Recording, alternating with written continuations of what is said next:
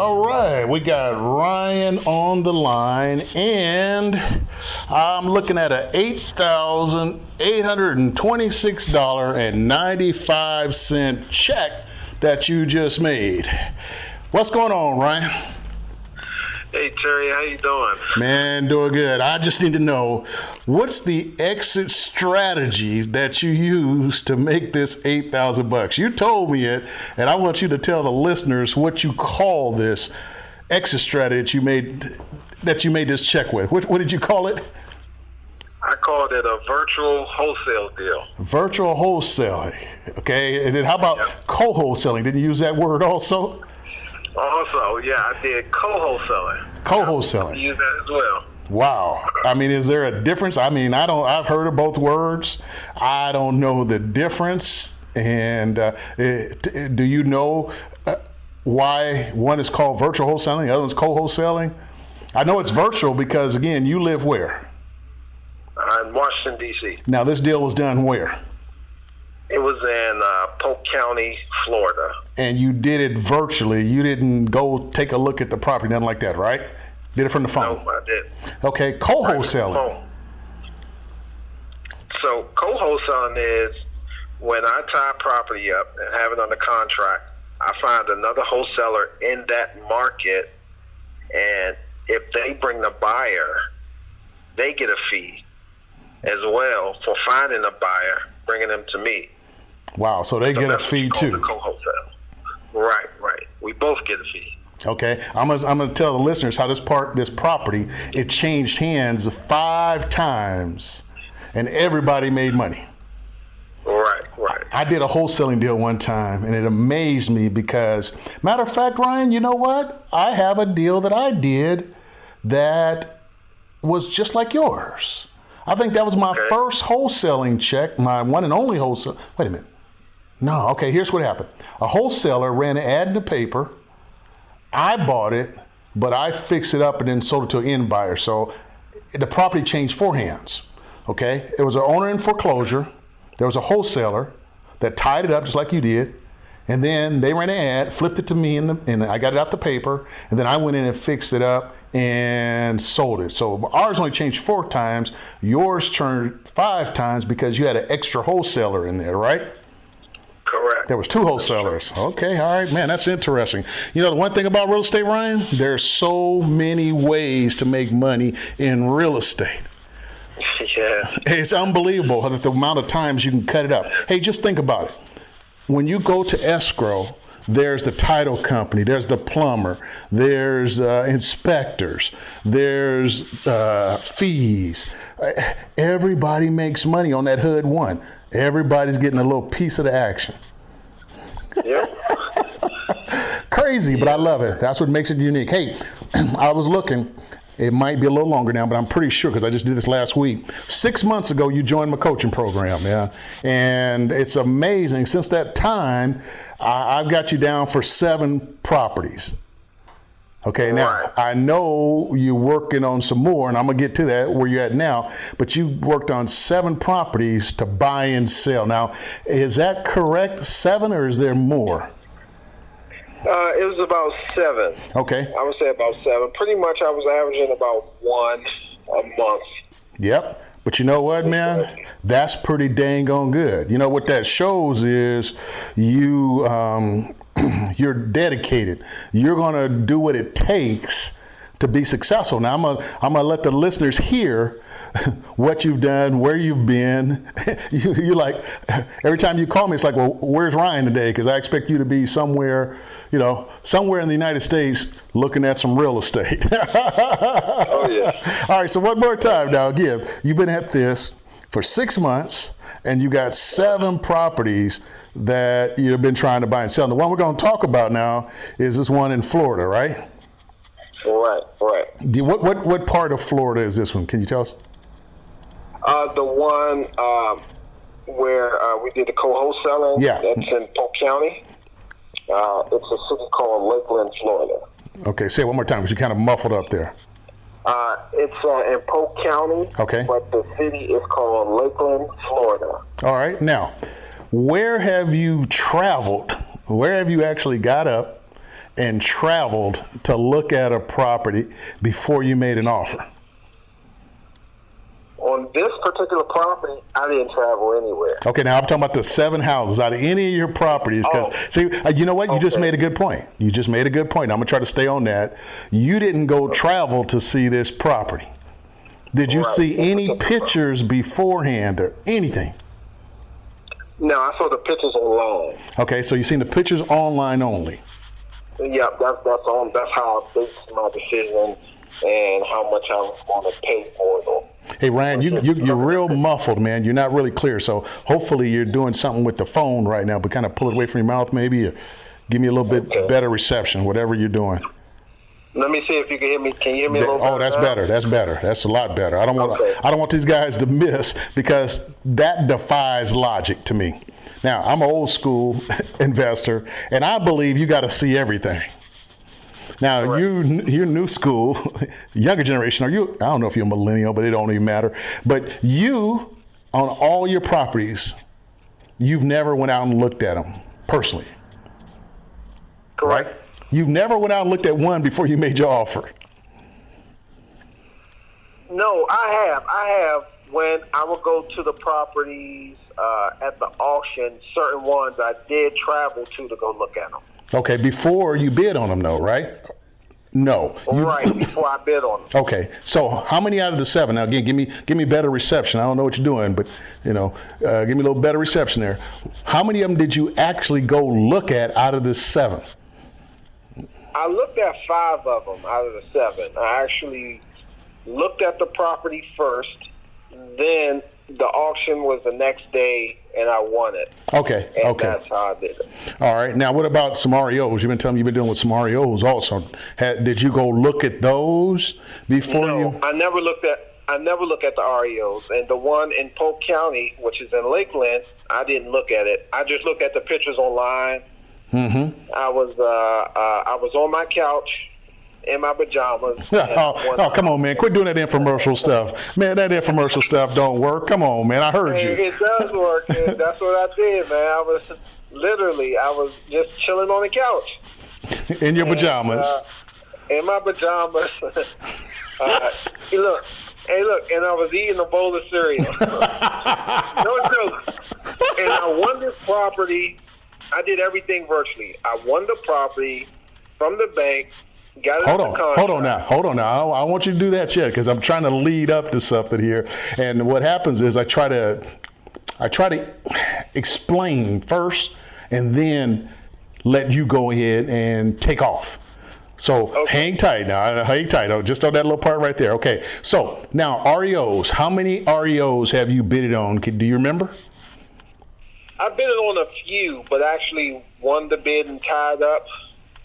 How many properties? One to bid, tied it up. Two. All right. So again, what I'm trying to get those guys to understand is, you bid it on two properties. You ain't even seen them personally, in the pajamas, Right. on the couch, eating cereal. In where you live at again? In Washington D.C. You live in Washington D.C. And the fact that you're making these offers where? I'm making them on my computer Okay. Now, what cities and states have you made your offers on? in Florida, uh, Lakeland, and the Orlando area. Did you have one in Virginia?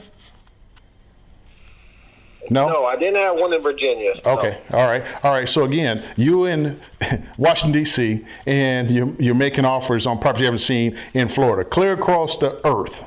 Now, Correct. what you're doing and what you're saying is you're going to get some people to open up their parameters. And come to think of it, Ryan, I have invested without seeing properties. That's when I was buying notes. So again, I have to take that back. Now that you're rattling my brain, I have done what you've done, but not the way you have. So, all right. So you made offers.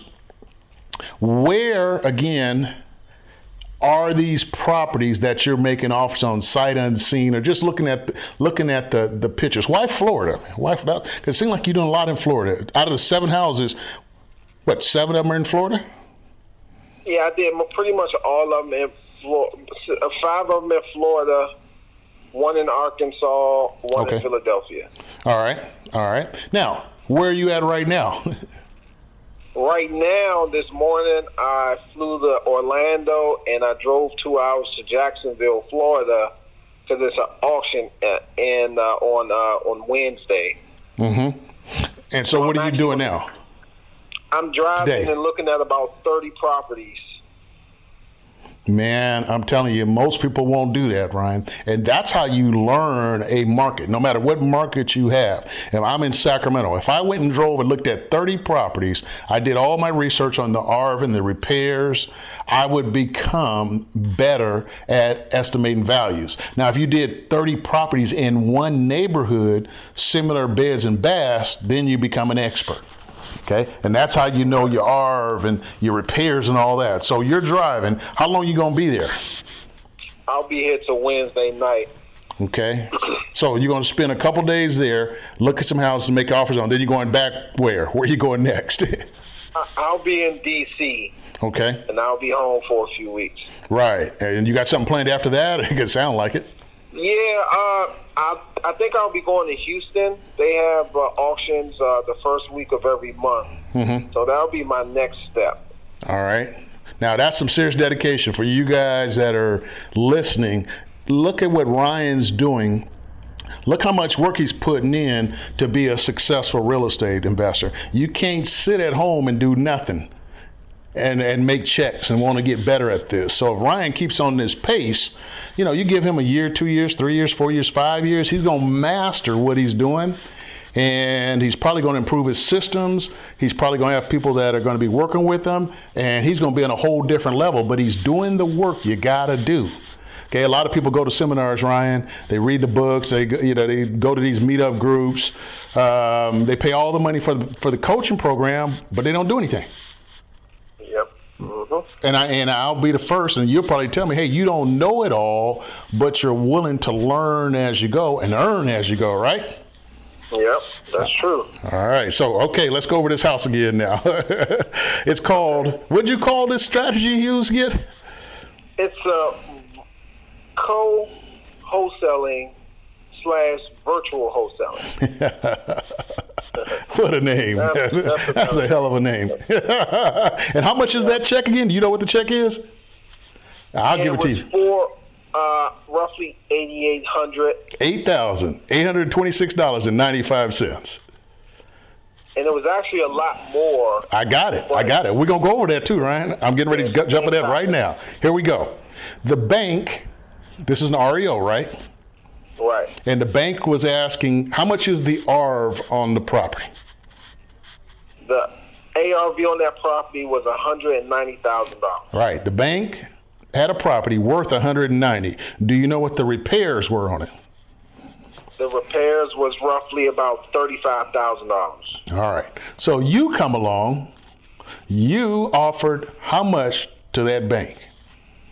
I offered them $80,000. All right. And they accepted, right? They accepted it. Okay, so you offered 80. You got it tied up. How long did right. you have to try to get the property wholesale to someone else? How long did the bank give you? The bank gave me about 45 days. They gave you a month and a half to, before you had to bring the money to the table to close, right? Right. Okay. So that 80,000, if you wouldn't have flipped it, how much did it cost you to tie that property up first? About four thousand dollars. All right, so you got four thousand dollars just to tie it up. Now, right. if you wouldn't have been able to flip it in that 45 days, did you have a plan B? Were you going to bring the 80,000 to the table, close it and do something else with it? The plan was to reach out to a lender and close on it and that would give me more time to try to uh, flip it to an end buyer, cash buyer who wants to rehab it. All right, good. Now, did you ever go through that process of finding a private lender or a lender of any sort? No, I didn't. I didn't go through it fully, but I did reach out to a few, and they was kind of telling me, "Yeah, we can do it for you. We're going to charge you this amount of interest." And I was like, "Okay, let me try to find a buyer." Mm-hmm. Um, so I, I did. I did try to find a buyer, and um, I actually ran across uh, a wholesaler and was like, "Hey, you know, we got a ton of buyers in this area. All right, now hold on now. Hold on. I know where you're going. I'm going to bring okay. it back. I'm going to try to extract all the little stuff before we move on. The next thing, okay, you got your plan B. Plan C. Okay. If you couldn't have flipped it and if you couldn't have found a lender, what were you willing to do with that 4000 I didn't get that far, but it was a good chance. I could have lost it. Exactly. Exactly. If you can't find anything, you lose your money, and, and that that's that's the scary part about it. All right. risk that money. Let's deal with that. That's called risk. Okay, because without no oh, risk, there is no reward. So, in other words, you put up four and you doubled your money because you got it done. Now, there's a lot of people and I don't know what determines who's risky and who's not risky. There's a lot of people that says, you know what, Ryan, if there's a risk of me losing four thousand dollars, I'm not going to do this deal. I'm going to try to beat your brain and figure out how Ryan thinks. Why did you say, you know what? Maybe you didn't even think about this, but why did you decide to risk the four when most people won't? They, they're so scared of losing the four they don't look at what can be gained if you put the four up. So, what your plan was, I'm pretty sure you knew you was going to get this flipped, right? I knew it. Be- I knew it because the the purchase price, what I had on the contract for, and the ARV, the spread was so big. I'm like, that's a deal. Mm-hmm. It's no way that I can't get this contract um, flip. I, and I was confident, you know, my abilities and everything. So, uh, so you had confidence. Right. You had confidence, right? I did. Okay. I did. And where'd you get the four thousand? Did you have it in the bank account? You borrowed? What? Yeah, I, I had the four thousand just okay. sitting in the bank. Somebody could have probably used a credit card too, right? Yeah, you could use a credit card. All right. See, so what what I'm trying to do is extract as much information so that person on the other line that's listening to us right now, they're going, okay, man, Ryan did it. Ryan risked four thousand dollars. His plan A was he's gonna flip it and make more than the four he put up. His plan B was, okay, maybe I can get a lender. I'll go in there and fix it up, then sell it to a end buyer, person that wants to live into it. And then if plan C was, hey, if it all fails, then I'm going to lose four grand. That's pretty much the thinking process, right? Right. There you go. So if you listen, that's the process you got to go through, and you got to get the, the encouragement, the education, so that you understand how the process works. Now, I'll tell you, Ryan, even when you're doing this stuff, you don't have everything figured out, do you? There's some things you didn't know, and we're going to talk about them, okay? We're going to talk about things you didn't know that came up that man, it made your check a little smaller, but you still got a nice big $8,000 check. Because, like you was getting ready to say, you could have made more. So, tell us about the wholesaler. You were getting ready to do it, but I cut you off. Tell me about that other wholesaler. We're going to call this guy, let's call this uh, wholesaler number two. Ryan is wholesaler number one, but there's another wholesaler that comes in there. You was telling, go ahead. So, wholesaler number two was going to have the end buyer the one who, who was going to rehab the property. So that end buyer, he, you know, he was serious. He put the property under contract with wholesaler two. And the thing is, he couldn't close. We had the date set for close. He couldn't close, so the bank started penalizing me and my profits. Okay, hold on, me. hold on, right there. We're gonna come back to that. So what you're saying is this: you offered the bank eighty thousand on a property worth one hundred and ninety. Right. You're wholesaler number one. Wholesaler number two came in, and what did wholesaler number two offer you? Wholesaler two offered me ninety-five thousand. Okay, and the reason wholesaler two offered you ninety-five is because you said he had what? He had a. He had a buyer already lined up for a price. Uh huh. And what was that buyer going to do? What was that buyer? How was the buyer going to exit out of the property? Now, the buyer was going to buy the property from wholesaler two. Right. They bought it from me at a price of 103. Okay. All right. Again, let's do those numbers real quick. Bank. Okay. had an R of 190. Wholesaler number one is Ryan. What did you offer? I offered them eighty thousand. wholesaler number two offered wholesaler number one, which is Ryan, how much? Ninety-five thousand. Okay, so that's supposed to produce a fifteen thousand dollar check for Ryan, and we're going to talk about how it got down to eighty-eight hundred. But I just want you guys to be able to hear this clearly, what is going on, and get you to understand it. Because sometimes when we start talking about checks and real estate, we kind of leave out details. I love the details. All right, so number two offered Ryan 95, but the cash buyer on the end offered cash buyer number two how much? Okay, he offered him one hundred three thousand. One hundred three thousand dollars. So that means wholesaler number two was supposed to make what, Ryan? Eight grand? Eight grand. Eight grand. Let me do the numbers. Ryan is supposed to make fifteen thousand as a wholesaler for putting it under contract. He wholesales it Right. to wholesaler number two. Okay, wholesaler number two has an end buyer that's going to pay 103. Wholesaler number two is supposed to make eight grand, and then the cash buyer gets it at 103, fixes it up, does the repairs, puts it back on the open market for hopefully 190,000 or a little bit more, but let's just safely say 190,000 because that's the ARV. Can you guys all see the number of times this property is changing hands and everybody in between is making money? That's that's incredible. That's incredible. Okay, so now let's talk to me about that cash buyer at the end. You said that they weren't able to close within that 45 days. Is that correct? That was correct. All right. So tell me a little bit more about that. Go into some details. So the bank said, "Hey, Ryan, if this end buyer don't close, you need to close with your funds, and if you can't close, we're going to charge you a per diem." a per diem. And a per diem is a daily rate they're going to charge you for not closing after those 45 days that you, you were under contract for, right? All right. Okay, Right. tell the listeners, Ryan, did you close in those 45 days? Yes or no? No, I didn't. Oh, he didn't close, you guys. In the perfect world, we think we have it all figured out, but sometimes things don't happen the way they should. So, do you know what the per diem was, Ryan?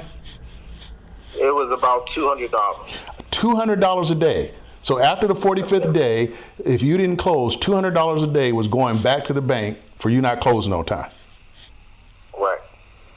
How long did it take to actually close? Did that cash buyer actually close eventually? Yep. He he did close. Uh, it took about sixty days total. 60 days. So you were 15 days over the budget. All right. I was. So was that $3,000 or was it less because they didn't charge on weekends? They charge you on weekends too? Yeah, it was about three thousand dollars. All right, so out of that 15 originally that Ryan was supposed to have, he had to take out 3,000 because the buyer didn't close. Okay? Yep. Now, there's still another maybe 3,000 that you did not get. So what happened to that other money? The 3,000 That, that was uh, uh, a premium, like a broker fee. Mm-hmm.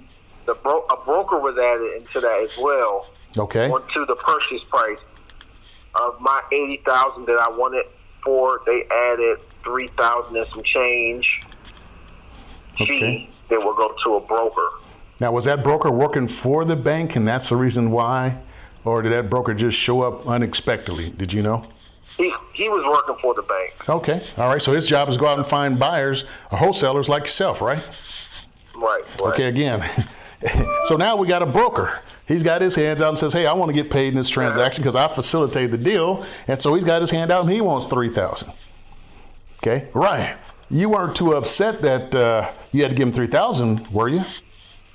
No, I wasn't too upset. You know, um, it was it was a great experience for me, and I enjoyed it. You know, I think we call that the cost of being in business. The cost for you to make your eight thousand eight hundred twenty-six dollar and ninety-five check, ninety-five cent check was you had to pay someone three grand.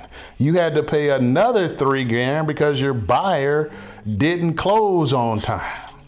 You had to wholesale the property, and then it was going to be wholesaled again to another person in order to make that eight thousand eight hundred twenty-six dollars and ninety-five cents. So Correct. at the end of the day, you made how much? You made eight thousand, so you put in four, so you made four grand. No, no, No. I got my deposit back. Okay. The deposit. Oh, I right. actually asked them to not add my deposit on the HUD statement for tax reasons. Okay. So they sent me my deposit back separately. okay. So I didn't really count your deposit. I just counted it as, Okay. hey, look, you know, this is your check, eight thousand eight hundred twenty-six, and your deposit was on top of that. So you got your deposit back of four grand, and then you got an eight thousand eight hundred twenty-six dollar and ninety-five cent check, right? Am I right or wrong? Right. Okay, right, good. Right. Keep- That's right. That's All right, keep me straightened out here because I love numbers. I love breaking this thing down. So again, you guys, for if you're listening, that's amazing that this house changes that many times. If Ryan got some money, wholesaler number one, wholesaler number two got some money, and then the end buyer, cash buyer, got some money. And the broker got some money. There was no real estate agent on this process, right? No, it wasn't. The title company got some money. Did um did you have to pay any uh, any fees for like and well I know you probably you didn't pay any carpenters or anything to do any work at all. You did no work on this property. No, I didn't do any work. Wow. So all you did was sat at home, give it to me again. I, you know, and, and it's funny because you see it on TV, and when you see it on TV or the infomercials on the internet, oh man, you can't do that. You can't sit at home and you know be in your pajamas eating cereal all day and make money. I did it. Come on, Ryan. No, man. You you know, are you a guru, Ryan? You're a guru, right? You're trying to sell some course, aren't you? Nah, I'm, I'm far from a guru. but it's okay because when you do become the guru, you can teach other people how to do the same thing. So I'm, I'm glad to be a guru. I'm honored to be a guru. I, I thank the guru for teaching me. And the good thing of it is, Ryan, you're out there doing what you're supposed to do to try to make yourself some money. And this is one situation where even though you went through some tough times and some, you know, some struggle, you probably lost some sleep too, didn't you? Oh yeah. There's a lot of doubt, probably. How much doubt? Yeah, we, we all have doubt, but did you have a lot of doubt that, it's, that this thing might not have closed? Yeah, we, yeah, me and the other wholesaler, we were just like this buyer. We're never. We learned a lot from dealing with these buyers and not vetting these buyers, and so we were frustrated. We didn't think it was going to close, and it ended up closing. We was happy, and you know, we like, okay, let's do it again. Let's do it again. That's right. Rinse and repeat. You know, once you get that, and that's not your first check. I know, Ryan. That's your, yeah, that's your third check. Am I right? That's your third check that you made. I, I want to try to keep this one, the the, the Right. information right to this deal because this deal is really kind of complicated, especially to a beginner. This is a complicated deal. Now, anyone that's been in real estate for a while knows that anything's possible in real estate, but a beginner, right now, they're probably scratching their head going, man, what the hell are these guys talking about? You know? Right, right. So, all right, so I want you to, well, I'm going to go back now, and I think we, is there anything that I forgot? But I want you to talk about what you've learned, what you've adjusted so that you can get better um, per se, because we're going to beat your brain. But is there anything that you wanted to add that I may have forgotten in this process? Uh, Uh, some details. No, I think you. Uh, I think you hit it right on the head uh, as far as uh, the details about Mm-hmm. this uh, one particular deal. Um, yeah, so so you hit it right. okay. You went through everything. All right. So, what drives you, Ryan? What makes you do what you do? What makes you go get on Southwest, right? Oh no, JetBlue. You went JetBlue. How much did it cost you for a ticket to go where you are today?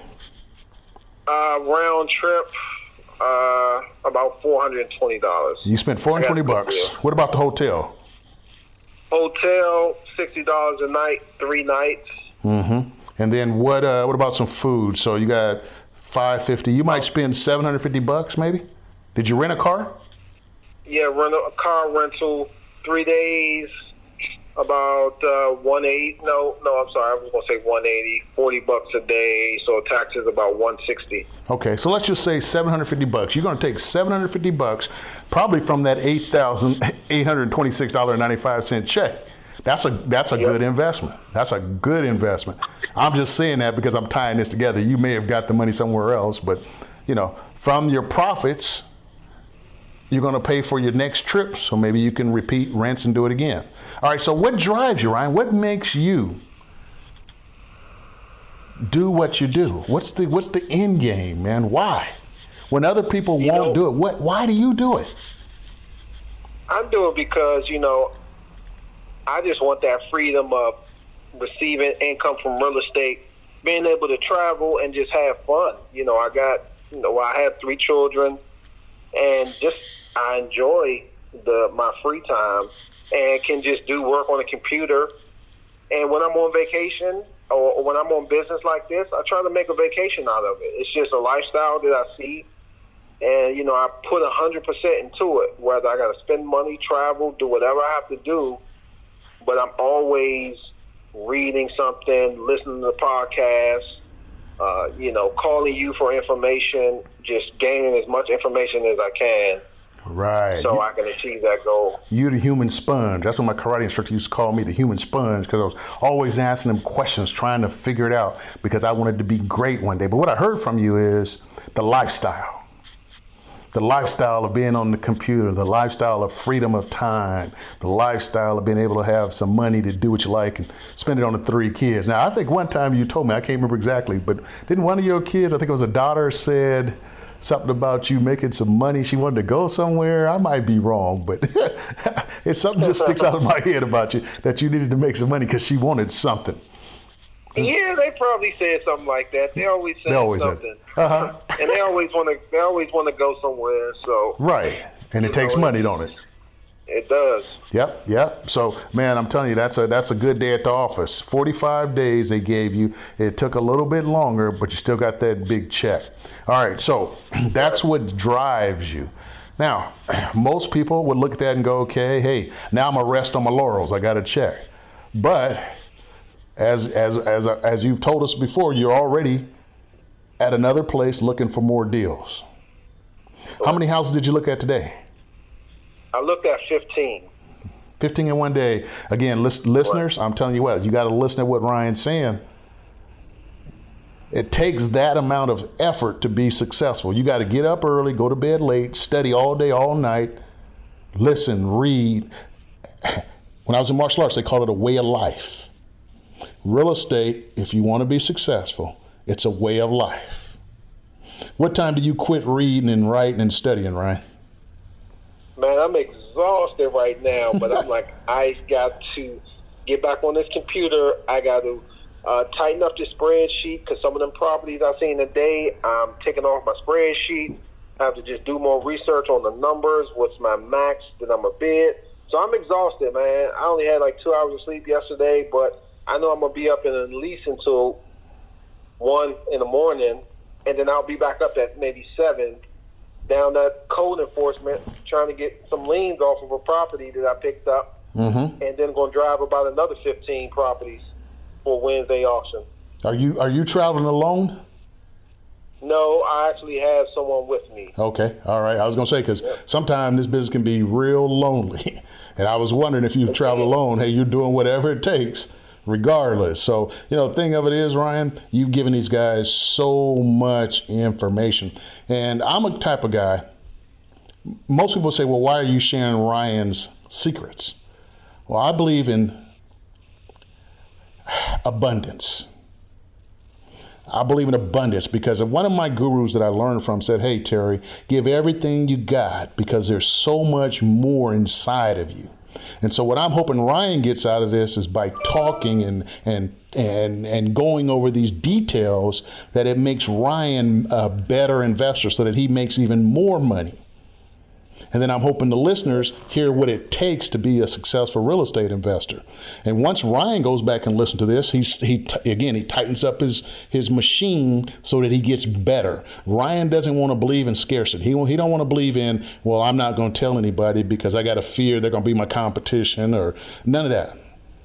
And that's what a lot of people do. So, you know, Ryan, hopefully, you know, you've learned that, hey, man, it's all about abundance. It's all about, you know, sharing some strategies because that's what other oh, people are doing also. They're sharing it. There's enough for everybody, especially the people that get out and want to do it. That's the problem. Most people don't want to get out and do it. They say they do, but I don't know if they're going to do what Ryan does. All right, Ryan, come on, give me one more, man. Come on, one more nugget. I'm always going for one more. What was your biggest mistake? Well, you know what? My biggest mistake was overpaying for a property, not running my numbers correctly. Mm. Say that one more time, Ryan. Ryan, say that one more time and say it louder because I want these guys to hear what you just said. In case they're they're falling asleep right now and they've lost interest now that you know how you know how to make money. I know there's one guy out there like you, one guy out there to me saying, "Come on, Ryan, keep delivering, keep delivering. Come on, Ryan, keep going." What was your biggest mistake? Overpaying for a property and not running my numbers correctly. That was my biggest mistake. Boy, that's that Man. that's crucial. Now, you're going to make a lot of mistakes, but now you got that one straightened out. Now we're going to right. adjust it. Now we want you to get better. Right. See, see, you you admitted your problem. Most people would say, ah, you know what? I didn't make no mistakes. I did everything perfect. No, no, no, no. It's still a learning experience. you got some years to go before you get to that perfection point. But this is what I learned. This is my mistake. I'm gonna fix it. Now, okay, what am I gonna do next to fix that one? And then you're gonna look up Ryan, and it's gonna be check, check, check, check, check. You're gonna be like, wow, man, this is like taking candy from a baby. Yep. but but but it's because of all these experiences and what you're going through right now. That's gonna make you that type of guy. And at that point you deserve it because you put in the work. Oh yeah. All right, Ryan. Anything else? Anything else for these guys? Anything else? Come on. Reach in there you know, deep. Go deep.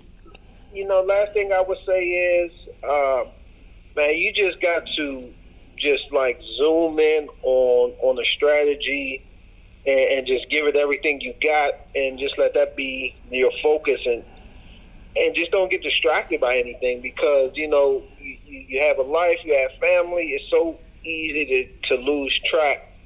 And with me, and what I would just tell people to just focus on it and just keep on doing it, keep on learning as much and do it. You got to actually do it instead of taking in a ton of information, you got to jump out there. Get the action, right? Get the action. Get the action going. Because that's where you really learn by by jumping out there and investing money into marketing or purchasing something uh, to really get that knowledge. Sometimes you have to do it. You have to, and uh, you only you're only gonna get better, and you know you'll thank yourself once you get past it. That's right. Get past all them fears, all that doubt, all the naysayers, all the dream killers. When you got that check in your hand, Ryan, all the noise seemed to stop for a moment, didn't it? oh yeah, I was like, wow, virtual deal, that's cool, you know. Mm-hmm. It's like now I'm like, I'm just going even more now because I'm like, okay, it's done, it's complete. I already know exactly what to do. So, like every single day, I do it every day. religiously, religiously, every day. Every single day. That that's what I do every day. Man, Ryan, I'm telling you, you delivering, man, every single day, every single day. Every e- ESD every single day, ESD every single yep. day. Man, that's big. That's big. Woo-wee. See, Ryan, I'm telling you, it's about abundance. See, you see how you bringing this out of you? Yep. That guru that taught me was right, man. Don't hold it in. Don't try to think, well, I ain't gonna tell nobody. You would have never thought of ESD. You would have never thought about, you know, the details. So you got a lot more in you, Ryan. I know you got to go. if it ain't no to sleep, problem. if it ain't to go look at some more properties, you got to go. I didn't already took enough of your time. I got 39 minutes of just pure content on how you did this amazing. How, what do you call it again? it's a it's a co-wholesale virtual wholesale. Sounds like some Star Wars movie, man. yeah, you can mix it up, but it's it's a virtual wholesale deal. All right, you Ryan. Know, end it, man.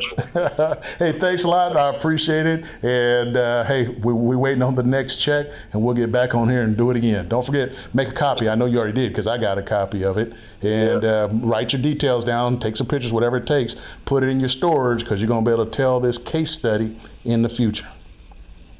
All right, sounds good. All right, Ryan. Hey, have a good one, man. Thanks for you know giving us the time. No problem. Take care. All right. Bye.